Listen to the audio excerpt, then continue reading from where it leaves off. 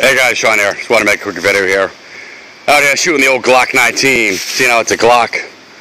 I gotta shoot a gangster style here.